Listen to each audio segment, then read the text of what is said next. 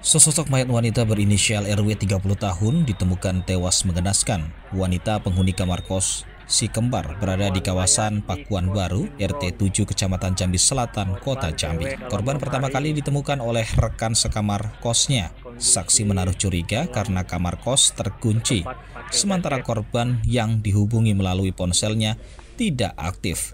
Setelah dilaporkan ke pemilik kos, lantas kamar tersebut didobrak paksa. Kecurigaan ini berlanjut, rekan korban memeriksa lemari korban dan melihat di atas tumpukan kain dalam lemari itu korban diketemukan sudah tidak bernyawa. Lantas kasus ini dilaporkan ke Polsek setempat. Untuk kepentingan penyelidikan, polisi langsung melakukan olah TKP dan membawa jenazah korban ke Rumah Sakit Bayangkara Polda Jambi untuk dilakukan visum dengan menggunakan mobil ambulan. Dugaan sementara, polisi menduga kasus merupakan korban pembunuhan karena dari hasil visum dan identifikasi ditemukan luka sayatan di tangan korban.